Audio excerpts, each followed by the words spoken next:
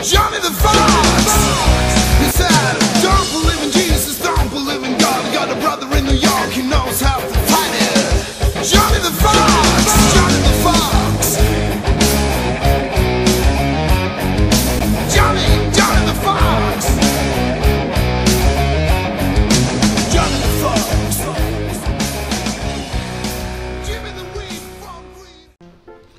Γεια σας φίλοι μου. Λοιπόν, αυτά είναι τα 6 ξύλα που θα χρειαστούμε. Είναι τα βασικά ξύλα για να κάνουμε τη βάση. Έχουμε τα δύο σε στυλ κρεμάστρας, εγώ τα λέω παρθενώνας. Τα δύο μεσαία που βλέπετε, 35 πόντους μήκος, το ίδιο και τα πρώτα δύο. Και στους 22 πόντους τα δύο πιο μικρά.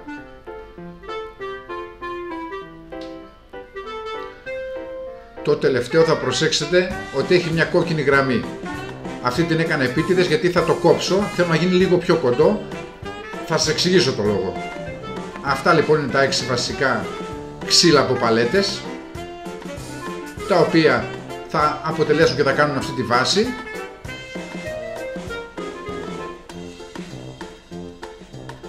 η κρεμάστρα αυτή θα μπει πάνω μπροστά και από την πίσω μεριά για ομορφιά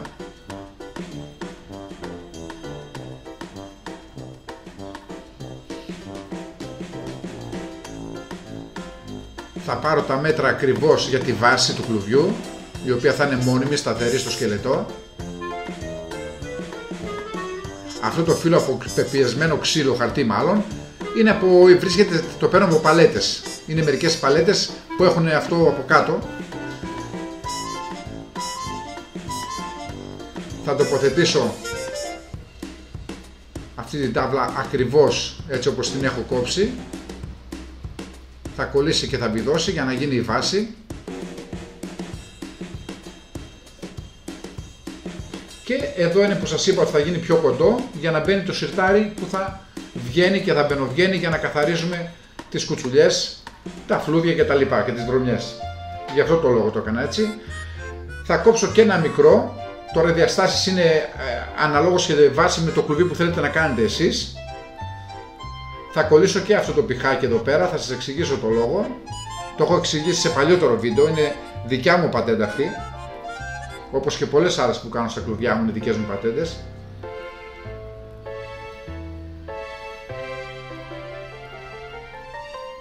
Αυτό εδώ που βλέπετε είναι το σιρταράκι. Το οποίο μπορούμε να το βάλουμε πρώτα μέσα και μετά να βάλουμε το πιχάκι. Εγώ προτίμασα να το βάλω έτσι για να σας δώσω να καταλάβετε τη λειτουργία του. Τώρα είναι δύσκολο γιατί στο ένα χέρι κρατάω την κάμερα και στο άλλο το σιρτάρι και είναι λίγο δύσκολο να το σμπρώξω. Λοιπόν, έχει μπει. Η κόλλα που βλέπετε θα ξεραθεί, είναι διαφανής, είναι πολύ καλή ξυλόκολλα. Και η στρατηγική, το σκεπτικό του σιρταριού μου είναι αυτό εδώ, να έχουμε το πιχάκι δηλαδή με το που θα τραβάω. Θα το τραβάω έξω, θα παίρνει τα πάντα επειδή είναι στη, στον πόντο ακριβώς, τραβάει τα πάντα έξω και μένει το κλουβί καθαρό. Με ένα καθάρισμα και μετά ξανά το τοποθετούμε μέσα στο σιρτάρι. Πατέντα Johnny the Fox να πει χαζά θα λέμε τώρα. Λοιπόν, ανά 1,5 πόντο έχω σημειώσει εδώ με στυλό. Τον ήχη που δεν έχω παιδιά είναι από μικρός που έπαιζα κιθάρα. Πιάστηκε σε μια χορδή και ξεκόλλησε ολόκληρο παιδιά. Απίστευτος πόνος. Λοιπόν, σημειώνουμε από ανά 1,5 πόντο έτσι για τις τρύπες. Θα περάσουμε τα 4 κάθετα πικάκια. Σας έβαλα και ωραία μουσικούλα έτσι, δεν έχετε να πείτε. Λοιπόν, έχουν ανοιχτεί οι τρύπες όπως βλέπετε στην αρχή με, ψηλό, με ψηλή αρίδα και μετά με τη μεγαλύτερη.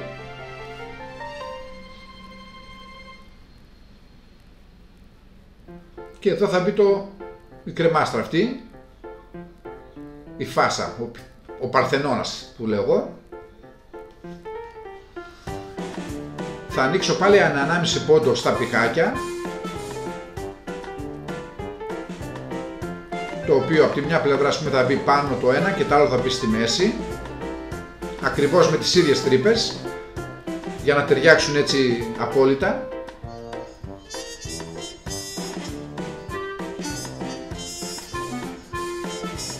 Μπορούμε να τοποθετήσουμε το ήδη ε, τρυπημένο πηχάκι σαν μέτρο δηλαδή για να τρυπήσουμε και το από κάτω για πιο γρηγοράδα για να βγουν δηλαδή οι τρύπες ακριβώς. Το πιο δύσκολο σε όλη τη διαδικασία παιδιά του κλουβιού στην κατασκευή είναι οι τρύπες. Βλέπετε έχω περάσει τα πηχάκια, τα οριζόντια με τις τρύπες και βλέπετε πόσο εύκολο είναι να περαστεί το ξυλόσουβλο. Και άμα οι τρύπες είναι δηλαδή σε ευθεία είναι ακόμα πιο εύκολο. Θα κοπούν αυτά που περισσεύουν πάνω.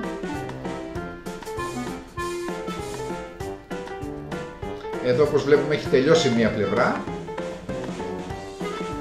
Αυτά είναι τα σουβλάκια από το τζάμπο που παίρνουν τα μεγάλα. Βλέπετε ότι δεν χρειάζεται να τα κόβω, δηλαδή περνάει ολόκληρο. Ενώ τα κλασικά στα σούπερ μάρκετ, το έχω τονίσει πολλές φορές, δεν χωράνε. Δεν έχουν τόσο ύψος και αναγκάζομαι να τα περάσω δύο φορές. Ενώ με αυτά ξεμπερδεύω. Τάκ, περνάνε, περισσεύει κιόλα από πάνω και τα κόβω. Έχει τελειώσει η πρώτη πλευρά από ό,τι βλέπετε μπροστά. Έχω κάνει και τη μαγκιά που σας είπα με την τρύπα. Γι' αυτό πήρα και κάποιες φρεζιέρες. Από τα Lidl το είχα πάρει, ενώ στο προηγούμενο βίντεο είχα πει IKEA, μπερδεύτηκα, εντάξει δεν πειράζει. Λοιπόν, μπορούμε να κάνουμε και άλλη μια πατέντα τώρα, με, κάποιους, με κάποια σφιχτηράκια, αυτά είναι σφιχτηράκια γραφείου τώρα, κλειψάκια. Το τοποθετούμε ομοιόμορφα και ανοίγουμε τις τρύπες για να γίνουν ομοιόμορφα και στο επόμενο πηχάκι. Για να μην χάνουμε χιλιοστό και να έρχονται όλα στην ευθεία τα ξυλόσουλα κάτω την είσοδο στις τρύπες.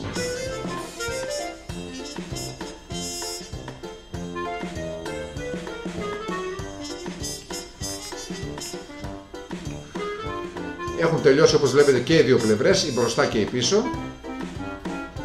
Στην άλλη δεν άνοιξα τρύπα γιατί θα είναι πίσω μεριά, όπως το κρεβμάει στον τοίχο δηλαδή δεν χρειάζεται, δεν θα φαίνεται η τρύπα. Κοιτάξτε τώρα εδώ αλφαδιά που έχω δώσει.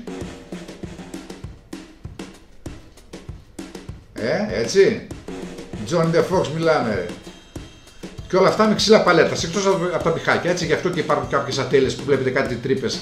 Επειδή για να βγάλεις την παλέτα είναι κάτι καρφιά ε, παράξενα που βγαίνουν πολύ δύσκολα. Δεν το στόκαρα, μπορούσα να το στοκάρω, αλλά εντάξει τώρα η αλήθεια είναι ότι βαρέθηκα. Λοιπόν, έχει κλείσει περιμετρικά όλο. Αυτό που μας μένει τώρα είναι να κόψουμε αυτά που περισσεύουν πάνω και να συνεχίσουμε με την κατασκευή της οροφής που και αυτή έχει λίγο τη δυσκολία της.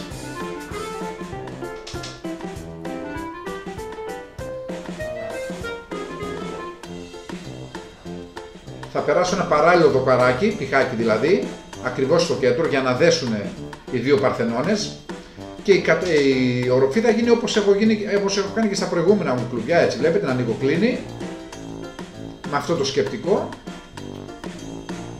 Συνεχίζουμε. Πάμε να δούμε και την οροφή τώρα.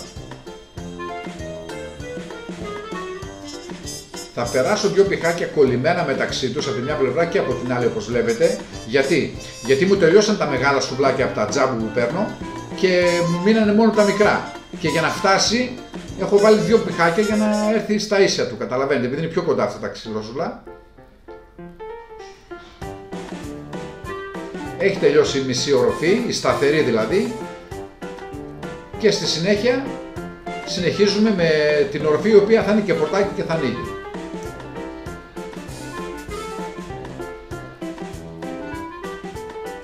Έχει τελειώσει και το πορτάκι και γενικά το κλουβί έχει τελειώσει γύρω στα, η δουλειά του έχει γίνει γύρω στα 99% θα έλεγα. Απομένουν μόνο τα κλαδάκια να βάλουμε μέσα και τις ταΐστες.